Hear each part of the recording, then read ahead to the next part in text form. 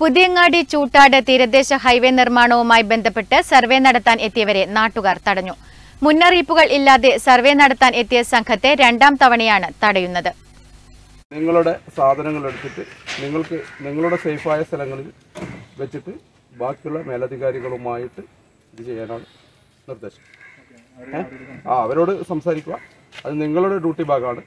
നമ്മളെ സംബന്ധിച്ച് നമ്മളുടെ ഒരു എല്ലാണ്ട് ഇത് അവർക്ക് എന്തെങ്കിലും സംസാരിക്കേണ്ടത് മേലധികാരികളായ നിങ്ങളുടെ ഓഫീസർമാരോട്. തീരദേശ ഹൈവേ നിർമ്മാണവുമായി ബന്ധപ്പെട്ട് പുതിയങ്ങാടിയിൽ നടന്ന സർവേയാണ് രണ്ടാം തവണയും നാട്ടുകാർ തടഞ്ഞത്. തീരദേശ മേഖലകളെ ബന്ധിപ്പിച്ച് കേരള സർക്കാർ കിഫ്ബി ഫണ്ട് വഴി നിർമ്മിക്കുന്ന ഹൈവേയുടെ പ്രാരംഭ പ്രവർത്തനത്തിന്റെ ഭാഗമായാണ് സർവേ നടത്തുന്നത്. സ്വകാര്യ കമ്പനിയായ സാസ് ആണ് സർവേ നടപടികൾക്കായി എത്തിയത്.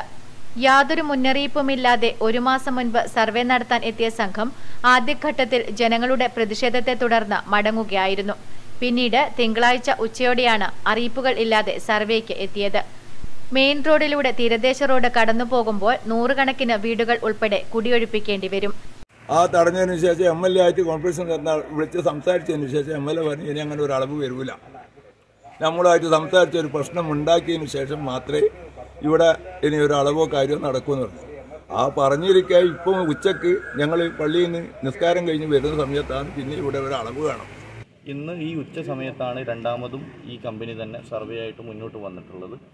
എം എൽ എ ഓഫീസിൽ നിന്ന് വിളിച്ചപ്പോൾ ഇതൊരു താൽക്കാലിക സർവേ ആണെന്നാണ് അറിയാൻ സാധിച്ചത്. പക്ഷേ ജനങ്ങളിടയിലുള്ള ഈ ബുദ്ധിമുട്ടിന് ഒരു പരിഹാരം കാണുന്നതിന് വേണ്ടി എം എൽ എ വന്നതിന് ശേഷം സർവകക്ഷി യോഗം വിളിച്ചതിന് ശേഷം മാത്രമേ ഇത് തുടരാൻ അനുവദിക്കുകയുള്ളൂ എന്ന് തന്നെയാണ് ജനങ്ങളുടെ നിലപാട്.